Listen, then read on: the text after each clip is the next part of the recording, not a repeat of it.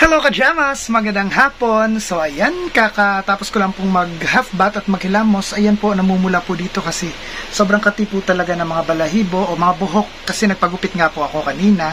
So ayan, mag-prepare na po kami ngayon ni Plong kasi papunta na po kami maya-maya din ay sasakay na kami sa Grab na pinabook ni Ate Lovely Joy para sa amin na hanggang papuntang Mandaluyong hanggang pag-uwi ay libre po nila. So ayan, happy happy birthday again Ma'am Lovely.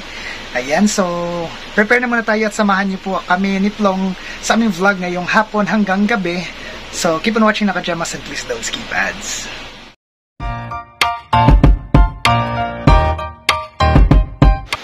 Yan, pati liig ko kajamas so Kate.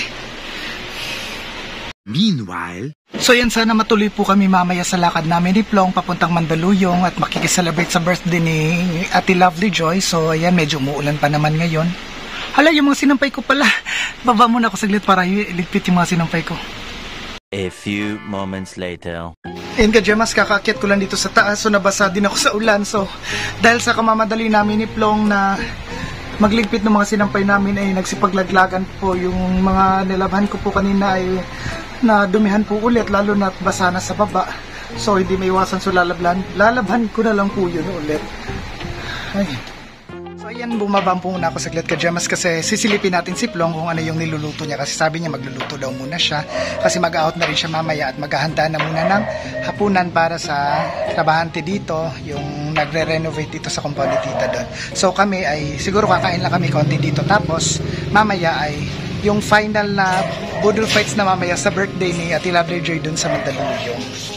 Ayan, silipin na muna natin si Plong dito sa loob na nagluluto. So ngayon ay pans, pas, ano, kasalukuyan siyang naghiwa ng mga gulay at yaka iba pang mga sangkap sa lulutuin niyang ulam ngayon. So ayan na pala si Plong. Hi, say hi to my vlog.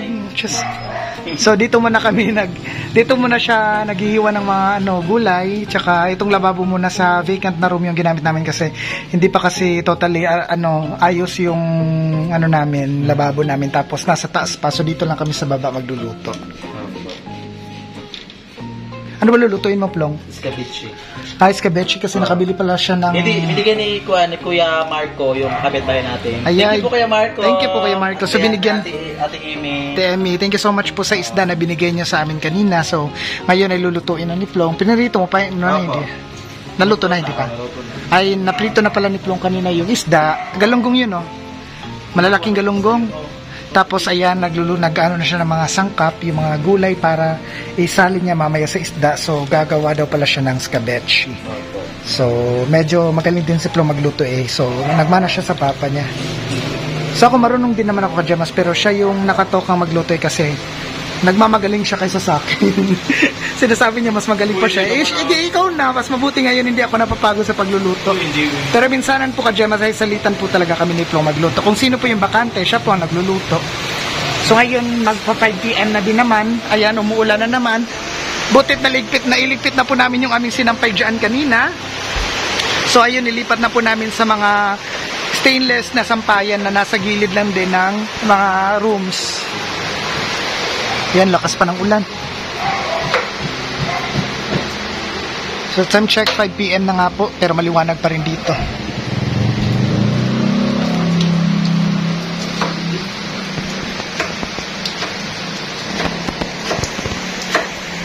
Sugag na ang lagi ng muluto, day.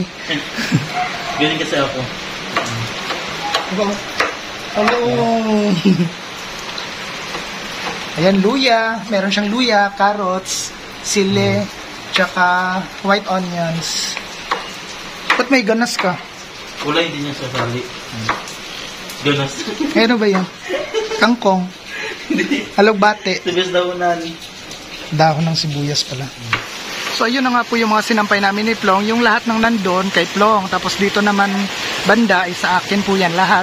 So, nagkasabay nga po kami ni Plong. Kahapon naglabas si Plong. Kanina naman ay ako. Kaya nakulangan kami sa aming hanger. So, bumili na ako kanina ng madalian. So, ayan buti at nahanapan ko po ng paraan na may sampay po lahat. Kaso, umula naman. so, ayan. Sana matuyo yan kasi wala kaming susuotin mamaya. Pag nag nakikipag-meet up kami kay Ma'am Lovely Joy na one of my solid viewer and supporter sa aking vlog. So, ayan. mas maganda kasi na decente din yung suot namin pag nakikipagkita kami kasi nakakahiya din naman. So silipin natin ulit si Flo kung ano yung ginagawa. Ano na yung ginagawa niya dito sa loob. Hindi pa kasi siya tapos maghiwa at mamaya ay diretso na siya magluto ng kanyang specialty ngayon na scabeche. Tawid, tawid, tawid. Ayay, nabasa na tayo ng ulan ka, Jamas.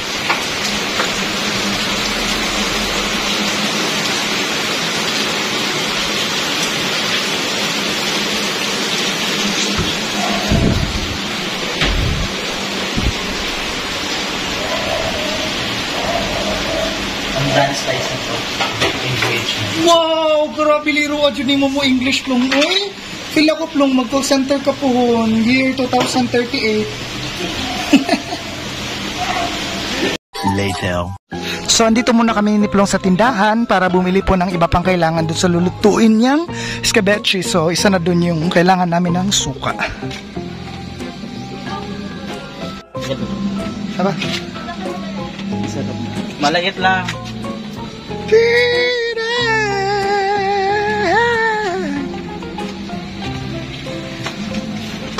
Gibmer? The feelings that I can't go on. Merch? Mal. Ah, Nga yes. One hour later. A few moments later, so nag-start na po si Plong sa pagluluto ng kanyang specialty ngayon na scabeche. So, mamaya na natin to balikan pag maluto na. So, I hope na masarap yung luto ni Plong kasi ayan, galing sa puso daw. Pero ayan o, nakasimangot. Parang ayaw niyang, ayaw niyang ano, matikman yung luto niya.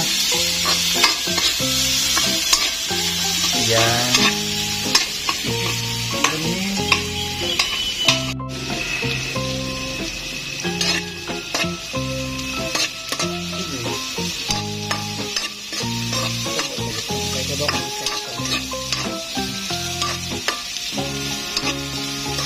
A few moments later. So, ayan ka, Gemma. So, ayan, kakatapos lang pong magluto ni Plong sa kanyang specialty na scabeche. So, ano, tsura pa lang, sobrang sarap na siguro nito. Pero, titikim lang tayo konti. Pero, busog po ako, hindi ako kakain. So, ibubulto ko lang tumamaya sa birthday ni Ma'am Love the Joy. Ayan, thank you so much sa iyong specialty na scabeche.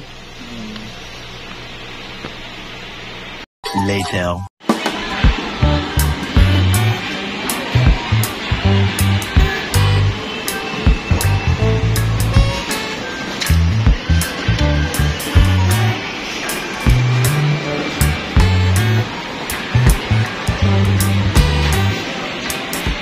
So ayan ka Gemas, ang saya ko po kasi ayan na po, nakabili na nga po ako ng maleta na small size which is pinapabili po talaga to ni Ate Liberty para sa akin. So thank you so much po sa iyo Ate Liberty, ayan na po ate, small size po yan hanggang tuhod ko po. Ayan, hanggang tuhod po. Thank you so much Ate Liberty sa maleta na pinabili mo para sa akin. Thank you so much po at may pagpapalagyan na po ako ng aking mga private na gamit. Thank you so much. One hour later. So yun ka Jamas, time check. Magsi 6pm na po so mag-abang na po kami dito sa gate. Kasi nakapag-book na daw po si Ate Lovely Joy para sa amin ni Plong papuntang Mandaluyong.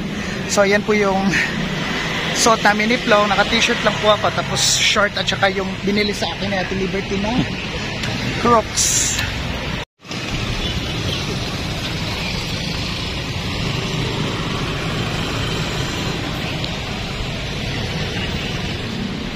So dito na po kami mag-aabang sa labas ng gate para di na po papasok yung grab na pinabook ni Ate Lovely Joy para sa amin ni Plong.